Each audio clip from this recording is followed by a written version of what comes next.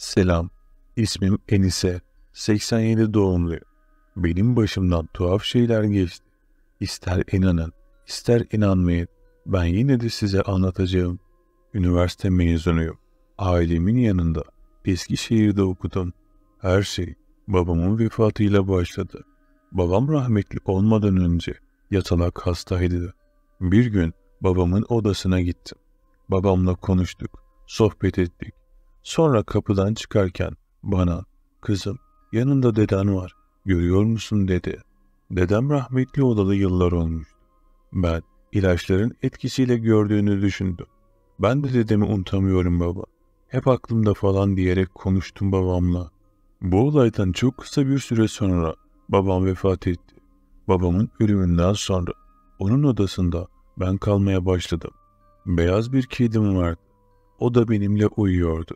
İlerleyen gecelerde kabuslar görmeye başladım. Bu arada tarih bölümünü bitirmiştim. Öğretmenlik için atama bekliyordum. Neyse, her gece kabusla uyanmaya başladım. Kabus görüp uyandığım saatler hep aynıydı. Sabah 4 ile 6 arasıydı. Gece sürekli uyandırılıyordum. Bir gün yine uyandırıldım. Uyandığımda karşımda bir tane çocuk vardı. Çocuk gülümsüyor, bana el sallıyordu. Ama çok çirkin bir çocuktu. Bu korku filmlerindeki gibi insanı tedirgin eden cinsten çığlık atarak uyandım. Kabuslarla uyanmalarıma artık fısıltılar da eklenmişti. Evde annem ve ben kalıyorduk. İki yalnız kadın. Sonra bir gece kedim ayağımın dibinde uyuyordu. Gece onun kavga eder gibi duvarın dibinde dikkat kesildiğini gördüm. Onun o seslerine uyandım. Kucağıma alıp sakinleştirdim.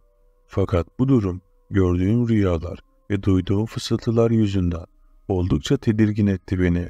Bir şeyler görmüş olmalıydı.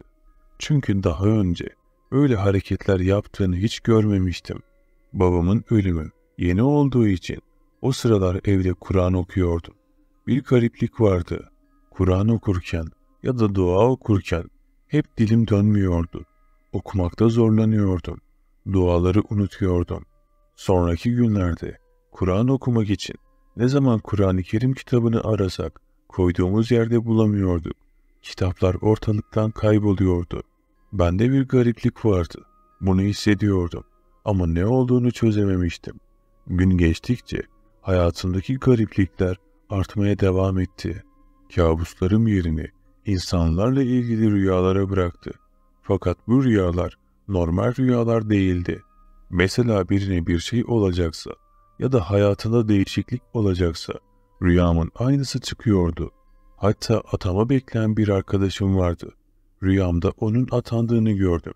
Sadece bununla sınırlı değil, atandığını, gideceği ile, gittiği yerde nasıl birisiyle evleneceği gibi detayları da görmüştüm. Arkadaşıma bu rüyayı anlattım. Çok geçmeden dediğim gibi atanıp gittiği yerde aynı şekilde evlendi. Bunun gibi birçok olay olmaya başladı. Avlam, abim derken çoğu şeyi bilmeye başladım. Annem bile dalga geçiyordu. Erdin mi kızım diye. Neyse, bu rüyaların dışında kabuslarım da devam ediyordu. Hem atanamamam, babamı kaybetmem ve bu kabuslar iyice bunaltmıştı beni. Abim şehir dışındaydı. Bana bir süre yanıma gel, hava değişikliği senin için iyi olur dedi. Abim rütbeli bir askerdi.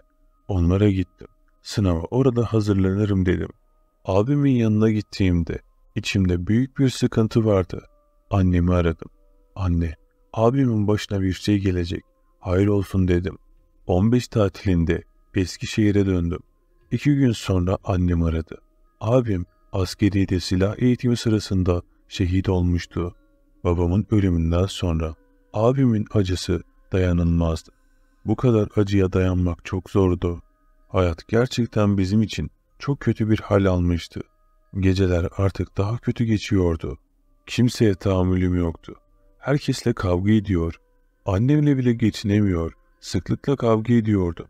Son zamanlarda da sürekli aklımda kendimi öldürmek arzusu vardı. Annem benim halimden bende bir şeylerin olduğunu anladı ve uzunca konuştuk.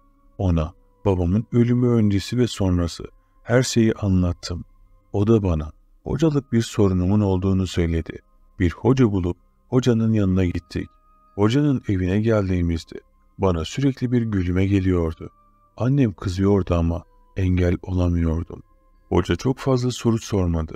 Bazı duaları okumaya başladı. O okudukça ben kötü olmaya başladım. Bana bir şeyler verdi. Bunları gece yak, suya at dedi. Muska yazdı.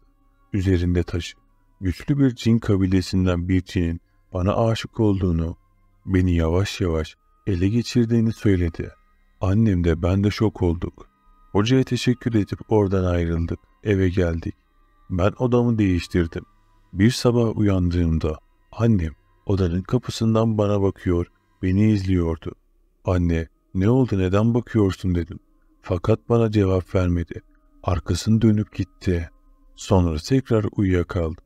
Uyanınca anneme sordum. Sabah neden bana baktın? Sana seslendim. Cevap vermedin dedim. Annem de ben senin odana hiç gelmedim dedi. Artık neyin gerçek, neyin rüya olduğunu fark edemiyordum. Gerçekliğimi kaybetmiştim. Başka bir gece uyurken birilerinin beni izlediği hissine kapılarak uyandım. Uyandığımda üç tane gölge başımda dikilmiş bana bakıyorlardı. Herhalde göz yanılması dedim. Çığlık atmadım. Tuhaf bir şekilde onlardan korkmuyordum. Ama içimde çok büyük bir merak vardı. Yine başka bir gün uyandığımda üç gölge yine başımda duruyor. Sanki nöbet tutuyorlardı. Ben de uyku sersemi. Ben iyiyim. Gidin buradan dedim. Kapının önünden geçen annem konuşmalarımı duymuş. Annem geldi. Kiminle konuşuyorsun dedi. Anneme söyleyip daha fazla delirdiğimi düşünmesin diye rüyamda konuşuyordum dedim. Artık onlardan korkmuyordum. Bana zarar vermediğini, beni koruduğunu düşündüm. Hocaya anlattım olanları. Onları senin görüp duyman çok tehlikeli dedi bana. Bir gün yine uyuyorum. Rüyamda sanki yerin dibine indim. İnsana benzer varlıklar var. Ama konuşmuyorlar. Sadece bana bakıyorlardı. Ben dua okumayı düşünürken içlerinden biri yanıma geldi. Dua okuma dedi.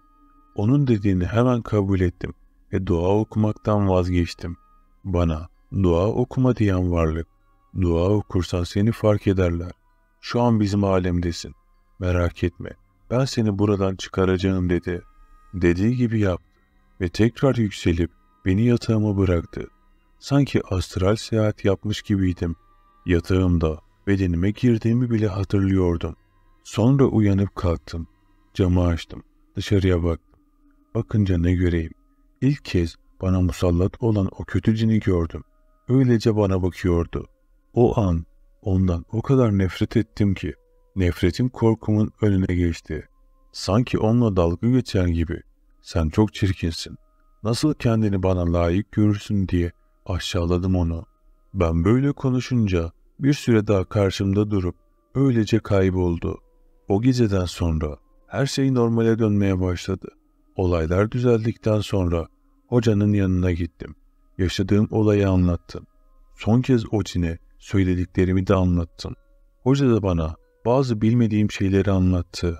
Babamın dedemi gördüğü gün, babamın ölümü yaklaştığı için bir enerji ya da kapı açılması, siz ne derseniz bilmiyorum. O ana denk gelmişim. Yani iki alemin bir anlığına kapıları açılmış. Bu olay gerçekleşirken bana aşık olan bu cin beni görmüş. O günden sonra beni herkesten ve her şeyden uzaklaştırmak için her şeyi yapmış. Bazı olayları bilmem, kabuslar görmem hep onun yüzündenmiş.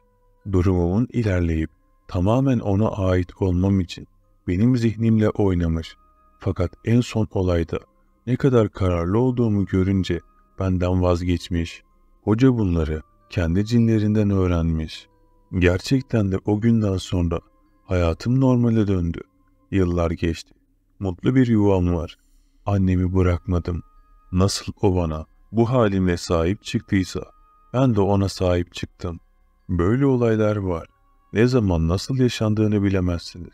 Belki sizin hayatınızda da vardır. Fakat anlayamazsınız. Bunu anlamak bile ayrı bir farkındalık gerektiriyor. Umarım bunu fark etmez ve öylece atlatırsınız. Bu hikaye burada sona eriyor. Şimdi diğer hikayeyi anlatıyorum. Merve Hanım anlatıyor. Yazın orman kokusuyla dolan akşamlarıydı. En sevdiğim saatler Temmuz'un ılık havasında güzel kokusunun tüm evrene yayıldığı kahvemi de alarak bütün Göktürk'ün ayaklarıma serildiği evimin terasına çıktım. Üzerimde kalın askılı bir atlet vardı. Kuzenlerle toplanınca pijama partisi yapılmadan olur muydu hiç? Kasemizde çekirdek ve cipsin eksik olmadı. Kız partimizde dönen dedikodularımız ve bol korku dolu hikayelerimiz bulunuyordu. Hiç yapmadık demeyin. Herkesin böyle bir deneyimi vardır elbette. Tam saati hatırlamıyorum. Ormanın derinliklerinden bir ses duydum. Kocaman olan gözlerimle kızlara baktım. Onlar da duydu mu diye. Fakat onlardan tık yoktu.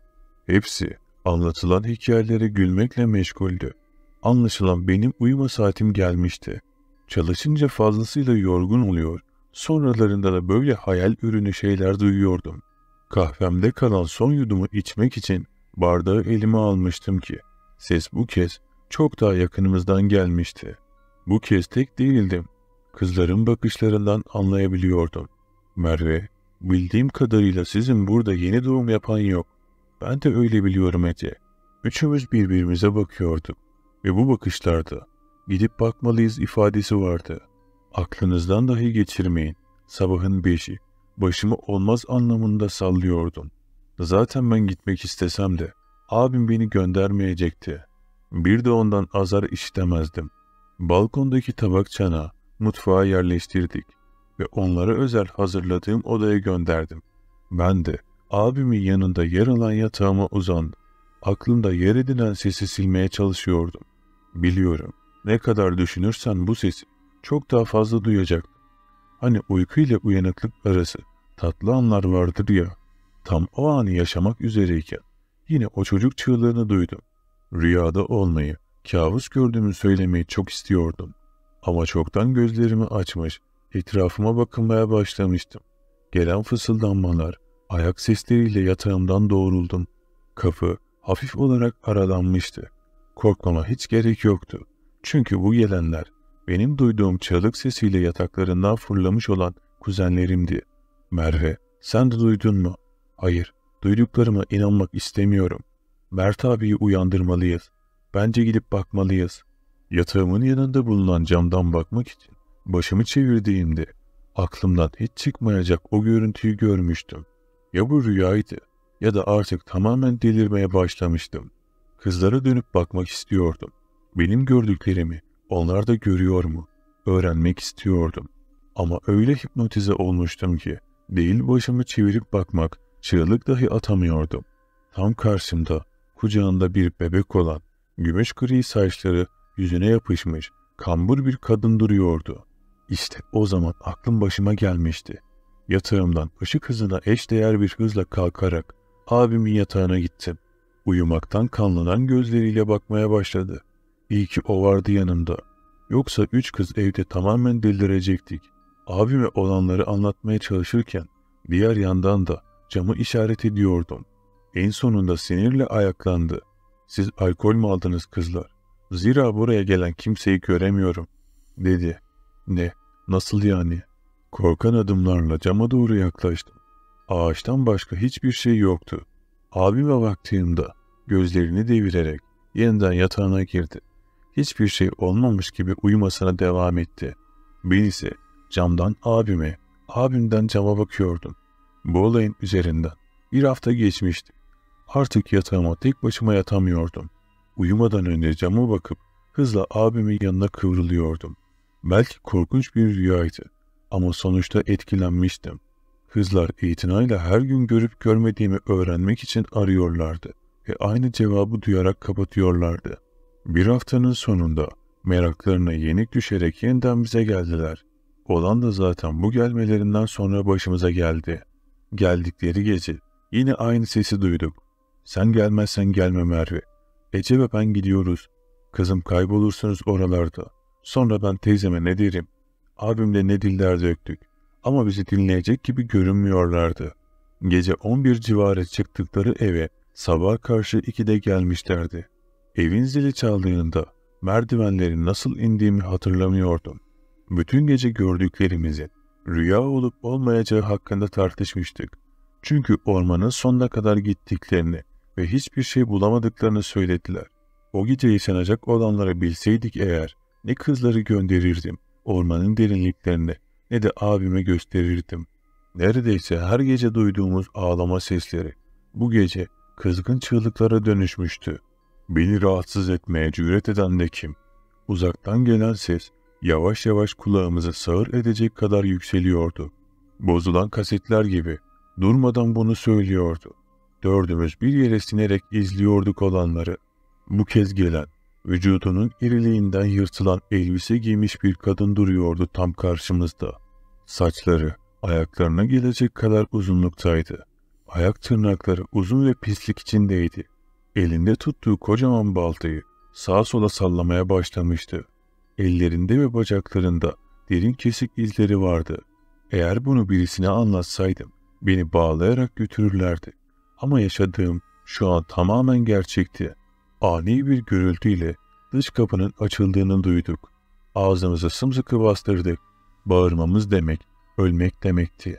Abim beni arkasına alıp sarılmaya başlamıştı. Kızlar da benim gibi arkamda birbirlerine sokulmuş vaziyetteydi. Kımıldamıyor, nefes dahi almıyorduk. Biz ne kadar sinip saklansak da gözümü açıp kapayana kadar tam önümüze gelmişti. Mideme yukarı gelen acı safra tadını yutkunarak yok etmeye çalışıyordum. Burnuma çürümüş et kokusuyla taze kan kokusu geliyordu. Kadının yüzü yoktu. Elleri kemikten ibaretti. Saçları olmayan gözlerinin yerlerini kapatıyordu. Dudakları parça parça kesiklerle doluydu. Bu kadına ne yapmışlardı böyle? Kalbimin gümbür demesine engel olamıyordum. Ama bunu merak etmekten de kendimi alamamıştım. Beni rahatsız etmeye cüret eden kim? Son damla kalan gücümle ayaklandım. Yüzüne bakamıyordum. Ama bu cevabı vermem gerekiyordu. Seni kimse rahatsız etmiyor.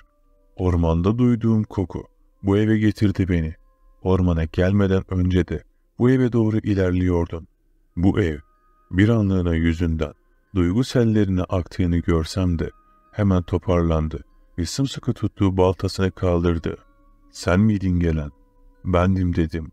İşte sımsıkı tuttuğu balta ilk olarak kesinlikle bana gelecekti. Abim de bunu hissetmiş olacak ki oturduğu yerden hızla kalktı. Delirdin mi Merve sen dedi. Kızlar da usulca omuz hizamdan başlarını çıkartarak titrek sesleriyle cevap verdiler. Sana yardım etmek istiyoruz. Kötü bir niyetimiz yoktu. Gelen bizdik ve kesinlikle sana zarar vermek istememiştik. Sadece duyduğumuz ses bir bebeğin sanmıştık. Belki yardım edebiliriz diye düşünmüştük. Düşüncemiz bu yöndeydi. Gözlerinin olmamasına rağmen akan yaşları sanki kalbime değiyordu. Bir insanın ağlaması için gözlere değil, kalbe ihtiyacı varmış. Bunu da anlamıştım. Kesik dudaklarını birkaç defa araladı. Bir şeyler anlatmak istiyordu. Bize istediğini anlatabilirsin demiştim. Duymak istediğimden emin değildim. Ama bir kere söylemiş bulunmuştum. Bu ev bir zamanlar bize aitti. Çok mutluyduk eşimle. Yani ben öyle sanıyordum. Eşim beni aldatıyormuş. Oysa ki ben ona o gün hamile olduğumu söyleyecektim. Söylemek şöyle dursun. Dinlememişti bile. Çirkin olduğumu, beni hiç beğenmediğini söylemişti. Başka bir kadını sevdiğini söylüyordu. Üzerine gittiğimde ise kavga alevlenmişti ve olanlar da o andan sonra oldu. Ama bir şeyin acısı beni ayakta tuttu.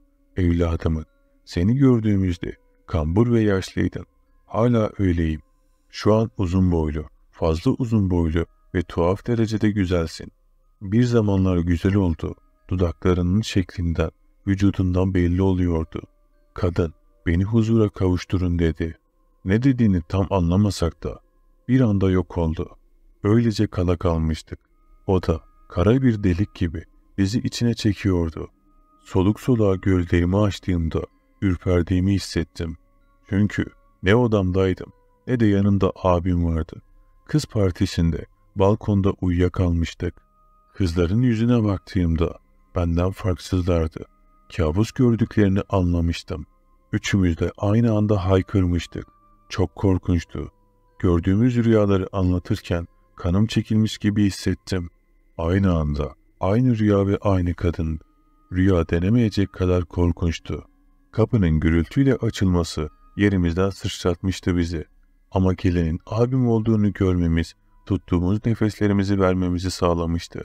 Galiba son nefesimdi. Çünkü abim bizimle aynı rüyayı görmüştü. Bulunduğumuz mevki ve yakınlarında o tarihe ait ne kadar haber varsa okuduk. Eski komşulara da sorduğumuzda işin aslı ortaya çıkmıştı. Kadının anlattığı doğruydu. Fakat cesedi görevliler bulamamıştı. Kadın bizden cesedi bulmamızı istiyordu. Ama nasıl olacaktı? Nereden bulabilirdik? Aklımıza sorular akın ediyordu. Lakin cevaplarını bir türlü bulamıyorduk. Öldürülen bir eşin cesedi nerede saklanılır sorusunu yöneltti. Evet, beyin fırtınası yapılacaktı. Ama hiç eşimi öldürmemiştim. Nasıl saklayayım? Ece çocuksu sesiyle gömer dedi. Evet, bu mantıklı bir cevaptı. Abim sesli bir şekilde buldum dedi. Hepimiz bakışlarımızı abime çevirmiştik. Bodrum katı. Bizim bodrum katımız mı var? Abim ise cevap vermek yerine ayaklandı ve hedefini şaşırmadan ilerlemeye başladı. Biz de abimin arkasından gidiyorduk. Kapıyı açtığında kadını gördüğüm andaki koku dolmuştu burnuma. Çürümüş et ve taze kan kokusu. Oysaki üzerinden kaç sene geçmişti. Nasıl bu kadar taze kokabiliyordu? Duvarda asıl duran feneri aldığımızda hepimiz bir adım geri gitmiştik. Yerde yatan kadın rüyamıza giren kadınla birebirdi. Uzun boyu, yırtık kırmızı elbisesi, gözlerinin olmadığı yerler ve saçları hepsi aynıydı. Tek bir fark vardı. Kesik dudaklarının ucunda gülümseme konmuştu. Bu olayı 20 sene önce yaşamıştım. Şu an 40'lı yaşlardayım. Evliyim ve bir çocuğum var. Bazen rüyalarıma girip teşekkür ettiğini görürüm.